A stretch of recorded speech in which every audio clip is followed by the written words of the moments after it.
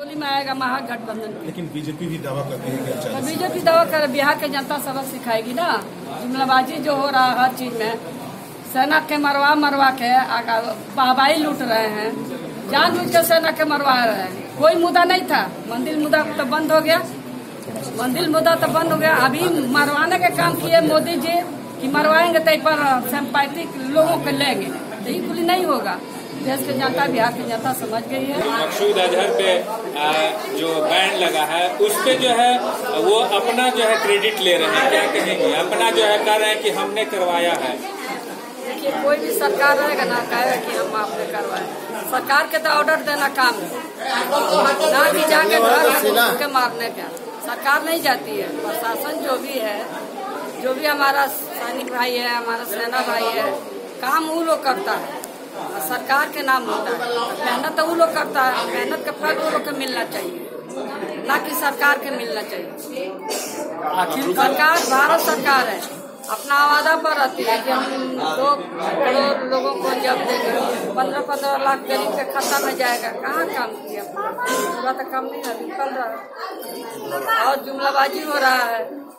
जो भी विकास का काम हो रहा है दिखाने के लिए कागज़ पत्तर पर ना कि सरजमीन पर कहाँ कहीं कल कारखाना करता है। एक चीज़ मानती हैं जब लालू जी केंद्र में थे और एक यहाँ परिवार के एक परिवार खाली लालू ज़्यादा तो परिवार के भारत सरकार के आ राज्य सरकार। इनको कैसे खत्म किया जाए? बिहार के जनता और देश के जनता खत्म तो लोग करेगी।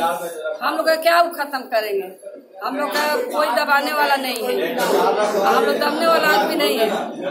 बंदर ग्रुपी से हम लोग डरने वाला नहीं है।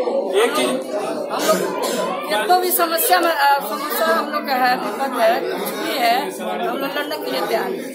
भागने वाला आदमी नहीं है। लालू यादव भागने वाला नहीं है बिहार की जनता भागने वाला नहीं है। बिहार की जनता अब सबक सिखाएगा। नरेंद्र मोदी हो प्रधानमंत्री हो चाहे मुख्यमंत्री नरेंद्र मोदी। और डर का बयान आ रहा है कि गुरखा हटाने के लिए। क्यों गुरखा हटाएँगे?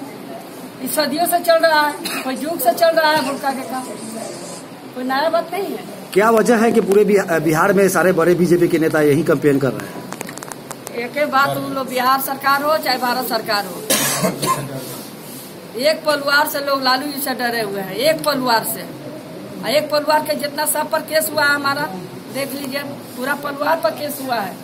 बेटा बेटी पर दामाद पर समझी लोग पर समझी नहीं पर सब पर केस हुआ है। बाकी हम लोग डरेंगे क्या? कौन करवा रहे इसीलिए हाँ? कौन ना भारत सरकार छोड़कर राज्य सरकार छोड़वा के कौन करेगा? कौन करेगा?